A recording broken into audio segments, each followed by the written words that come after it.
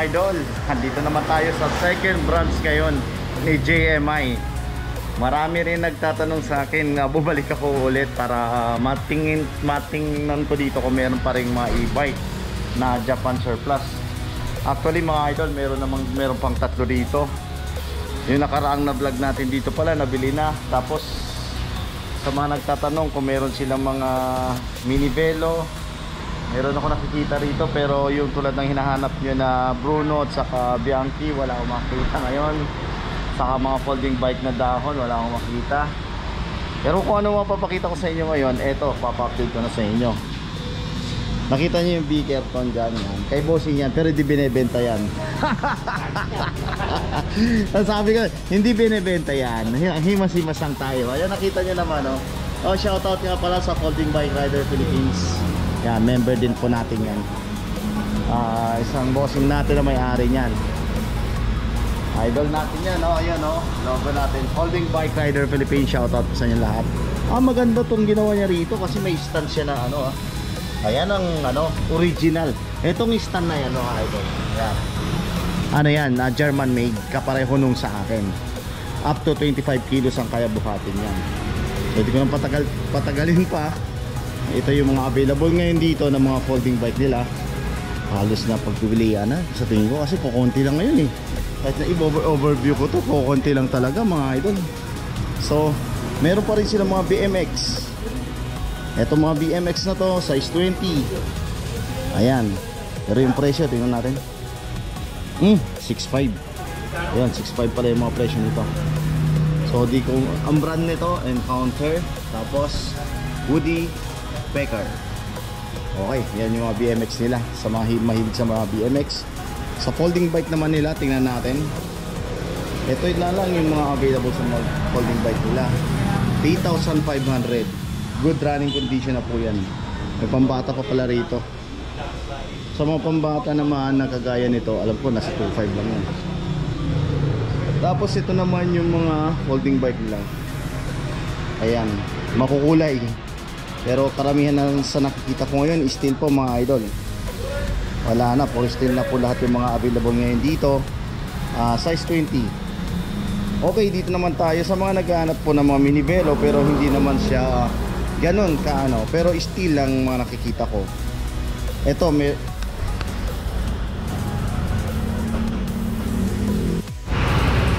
So yun mga idol, ito pa yung mga nasa labas na makita nyo Folding bike at saka yung mga Japanese bike 2.8 ang mga presyo nila dyan. Mabilisan na lang to kasi alas pare-parehas naman to Ito mga folding bike. Ayan. So mga steel, karami sa mga nakikita ko rito. May mga junior mountain bike pa pala rito.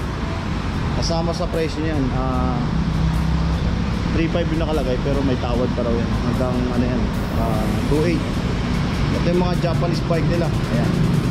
Mga Japanese bike yan tapos eto po oh. Nakita ko rito kanina kaiba folding bike ayan yung mga available nila. Ayan yung kakaiba. Bear pa. Pero tulad ng sinasabi ko sa inyo, hinahanap natin na ibang mga brand. Ito naman kasi mga pang ano to, mga bike to. Ah, Pare-parehas lang mga nandito. Pareho lang presyo po ng Japanese bike saka dito sa folding bike. Ayan. Bicycle mga. Bargain. JMI Kawas. Ayan po. Alright mga idol. Ayan. Mga Japanese bike. 2.8 negotiable mga idol. So yun, ituloy natin dito sa mga ano, ah, mini velo na available ngayon dito.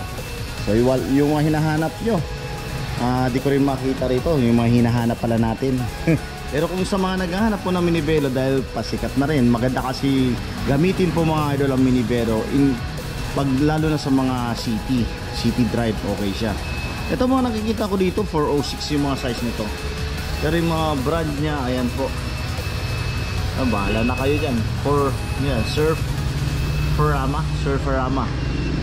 Pero 406 po siya, naka V-brake na Pro Max, harap at likod. Ayan, 1 by lang kasi to 1 by 6 speed. Shimano parts na rin siya. Pero kung mapapansin nyo yung geometry, ayan, papakita ko sa inyo. Ayan, ganyan po yung geometry niya. Okay na rin, still. So, parang medyo naliliitan ako. Hindi siya pwede sa size ko. alam ko parang 48 yung seat tube nito tapos yung top tube yung 50 tulad nito maganda kulay nito army color ayan so ang presyo nga pala uh, binabaan na dating mga ano to eh, ah, 6.5 ngayon ah, 5,500 na lang ang presyo nila sa steel na to. Good news mga idol. Negotiable pa yan doon sa 6.5 nya ito naman parang na kala ko rally. Bergamo mga idol kulay dilaw. Ah, naka ano yan ah, V-brake harap at likuran 406 din yung rim nya 1 by 7 speed. 1 by 7 speed ayan nakita nyo ganun din ang presyo nito. Tingnan natin 4.5 o 4.5 so negotiable pa yan mabawasan pa na 500 to 4,000 na yan. Ito weekend bikes. Ito yung alloy yan. Meron pa lang available pa rito na alloy weekend bikes 6,500 naka micro shift 7 speed 1 by 7 speed na yan. Eh, sa mga naghanap ng minibelo kung panggamit-gamit lang pwede rin naman rin naman itong mga to. Dito naman tayo. Ito 3.5 nila. Negotiable. Pero minibelo siya makikita nyo mixed ang style. Ito yung mga ordinary uh, minivelo sa Japan. Opel yung brand niya. May dalawa pa rito. Tatlo pala. Ito kasama yun. 3.5 yan puro bakal na lang lahat. Except lang dito sa isa na weekend bikes alloy tapos yung mga hybrid bike nila ito yung mga hybrid. 8,500 daw ang bentahan dyan. May Merida ayan, may Jamis yan na lang natitira dito mga idol ah. Ito mayroon ding alloy rin para rito. May trek pero mga halos ano 700C lahat tapos V-brake harap at likuran mga idol hindi ko na siya masyado maisa-isa kasi alam ko na vlog ko na yung mga iba rito eh. Tapos yung nagtanong sa akin nga pala na kung may available daw din dito na ano uh, Japanese e-bike meron pong tatlo na rito. Tatlo. Alam ko working lahat yan eh. Mamaya uh, lapitan ko yan. Dito muna tayo sa ah ito mga ano na to ordinary na MTV na ito mga nandito. 3.8 ang mga presyo nila dito mga idol. Ito madra gawa po ng Bridgestone. Pero kakaiba yung ano nito eh. Nahatak na yata oo. Hindi na to yung design niya na ano. Kasi luman luman na to 3.8 ewan ko kaya pa restore to. Pero ano to? Ah, classic to. Ah, log, log type pa. Yan mud truck cantilever. Ayan cantilever din yan na lang ang cantilever na nakikita ko rito. At saka itong isa na to. Yan yung hard stone pero GSR bicycle. So hindi dito masyado di masyado matunog yan kasing tunog lang. Pero ayan uh, ano ba? Cantilever 3,800 ang presyo nito. Tapos dito naman ano pa tayo dito? Saan pa? Wala na. Okay dito na tayo. May mga road bike pa pala sila dito yung mga budget bike na. Road bike. Mga 700c yung mga size. Steel lahat to 7.5 ang bentahan. Sa brand di ko makita kung anong mga brand yung iba. Ito brand ito precision. Ayan. Ayan alloy yan. 12,500 yung precision. Ito Rachel 8.5 T21 7.5 700 sila yan. Road bike. O hindi pa siya STI ito ang STI dyan yung dalawa. Itong precision at saka itong bakal nito ano ba ano yan chrome. Chrome lang nakalagay. Pero STI na siya. Mga turning STI to. Ito naman Claris itong uh, precision na yan naka Claris STI 2 na siya 2 by 8 speed yan. Ano pa yung may iba ah, ito mga technology. Oh yan dito pa pala itong Centurion na to. Mga lobby ito na lang po na presyo na to eh sa for now kasi na, nakalimutan ko na i-backtrack na lang natin dun sa ano natin sa vlog ko dito dati na presyo na to eh Hindi ko na lang matandaan pero andito pa to. May ano matagal na rin to dito eh. Ayan yung classic Miata. Na- Yung Miata na yan naka ah, Shimano 105 yan. Tapos yung Centurion, Ironman, ayan. Andito pa rin yan. Tanch yan mga idol, agawa ng tanch yung ah, ano yan. Tapos ah, ano, log type. May kalakihan ng sukat nito eh. Mga idol, hindi ko na masusukat nga pala to. Kalimutan ko yung pansukat ko para sigurado tayo. eh. Pero kung gusto nyo ano, mag-comment down below lang kayo mga, mga idol. Ibigay ko sa inyo yung link nung vlog ko mismo dito. Meron tayo yan para hindi na maulit-ulit. So basta ito ang rim set nito is Wolver. Tapos ito namang isa naka Mavic to. Ito yung Mavic Pro, alam mo Mavic Pro to. eh. Tama, naka Mavic yung wheel set nitong uh, Miata. Yan yung Miata mga idol, mga naka-engrave talaga. Ayan, mapapansin niyo. Engrave yan. So 105. Yan. So mix din nga pala mga idol mga group set nito. Alam ko ito, 105 yung California. Tapos yun mga idol, yung sa nagtatanong sa akin kung may e-bike pa. Ito, ito na lang po mga idol yung nakita kong e-bike kong tatlo na to. Angelino. Ano ko natin magana to eh.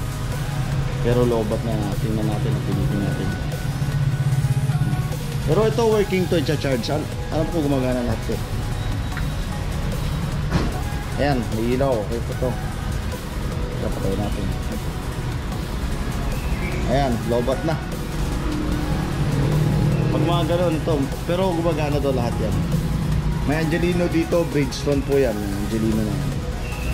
Naka ano yan, ah, Nexus 3 speed internal hub. Napakalaki nung ano niya. Ah, carrier sa likod. Itong isa Miata naman ang brand nito. Teka, parang alloy, alloy, ay, ito steel. Itong dalawang alloy, itong orange na to. Yan, alloy itong mga idol. Itong alloy na to, ganun, ah, parang Angelino rin. Hindi, Angelino nga. Ayan natin, naka 3 by Nexus internal. Lithium, pala light on. Light ion battery. So mga idol, alam ko benta nila dito sa mga e-bike. 8,000 to. Ayun, 9,000 na pala yun sir. Yan, 9,000. Pero negotiable pa tong mga e-bike na yan. Yan lang mga idol yung e-bike nila ngayon na nabukutan ko rito. Yan. Tatlo. Mga size ng gulong nito, mga 24 ata. Tama, mga 24 to. Angelina, Angelino. Bridgestone, dalawang Bridgestone eh. Itong orange, tapos Bridgestone din to. Ah, Bridgestone. Ito Miata to. Siya nga pala mga idol ah. Paalala ko lang. Basta yung mga Japan ano, ah, e-bikes. Tulad ng mga ganito mga idol. Hindi to yung may throttle ah. Shifter lang to nandito. Shifter yan dahil internal ano. Pero wala siyang ano. Teka. Pero yung itong isa. Kasi yung iba rito electric ah, pedal assisted lang talaga. Yun lang maaari ano ko dito. Pagkaalam ko mga idol. Correct me if I'm wrong. Pero sa totoo lang, alam ko, pedal assisted lang po ang mga ano ah, bike di, ni ano Japan Surplus ah, JMI. Karamihan pedal assisted po yan. So wala siyang throttle na makikita dyan. Yung pedal assist niya ha, up to ano ito apat hanggang apat. Pabilis ang pabilis yan. Tapos naka may shifter siya internal internal hub na Nexus Shimano. So yun mga idol. Yan lang po yung update ko dito sa second branch po nila. And so nabangan nyo po this coming August darating na yung new arrival nila. Papakita ko rin sa inyo. Maraming salamat mga idol. God bless. Mabuhay.